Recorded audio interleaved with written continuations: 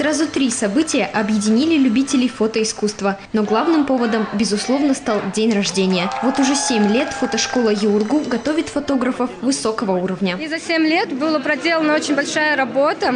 Очень много у нас выпускников устроились именно работать фотографами, то есть они связали свою жизнь уже не с основной специальностью, а с другой, с более творческой. Открывают фотостудии, работают э, различными фотографами. Каждые полгода в ЮРГУ проходит новый набор фотошкольников. Желающих стать профессиональным фотографом много, но до финала доходят не все. В свой день рождения фотошкола ЮРГУ выпустила 13 человек. Именно они и получили дипломы об окончании. Еще одно значимое событие фотошколы ЮРГУ – подведение итогов фотоквеста «Бондиана». На протяжении двух недель участники в роли спецагентов разгадывали задания, снимали и обрабатывали фотографии. В итоге жюри определило три лучшие команды. Так выпускник фотошколы Иван Иванов помимо диплома об окончании получил диплом победителя «Бондианы». Нам давали тему одну за другой, то есть всего было три темы, и на каждую тему надо было снять по одному кадру. Темы такие общие, ничего конкретного, и как бы надо было поразмышлять и что-то придумать.